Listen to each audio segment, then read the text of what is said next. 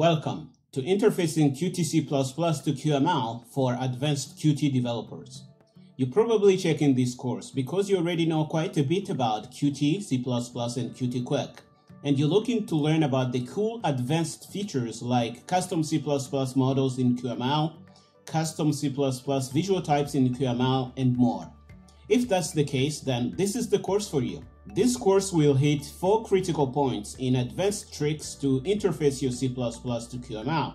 We'll see how to build your custom C++ models in C++ and use them in QML. You'll learn how to build your own C++ visual types that you want to use in QML. We'll touch on how to use your C++ classes as singletons in QML.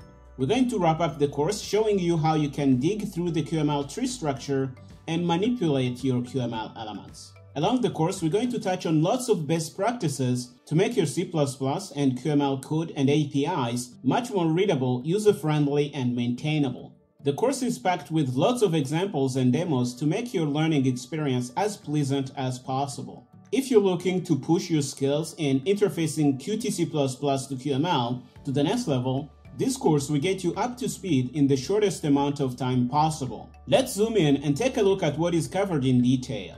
We dive in the course, immediately showing you how you can expose your C++ classes and use them as singletons in QML. We move on and show you how to build your own C++ custom models and use them in QML. And we'll show you how you can make it much more usable and readable in QML, using features like list properties and more. Next, we're going to do a demo, allowing you to practice things we've seen so far. We're going to build a REST API client that is going to download data in C++, store the data in a custom C++ model, and expose that to be consumed in Qt Quick.